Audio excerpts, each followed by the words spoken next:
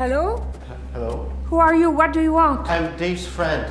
Nobody told me you were coming. He said I could come here to rehearse for a film. I'm an actor. You can stay the night. There's rooms upstairs. The painting, is that yours? Yeah. Is that Louise?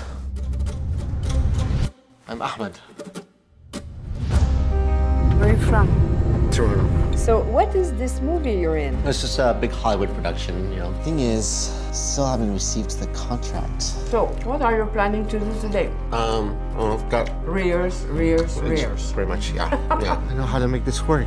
This is absurd. Oui, oui, toujours là. Every day feels like a battle with myself. It takes its toll. Has Louise Robitaille changed? Fantasies. You have all these dreams you think will happen magically. Hey,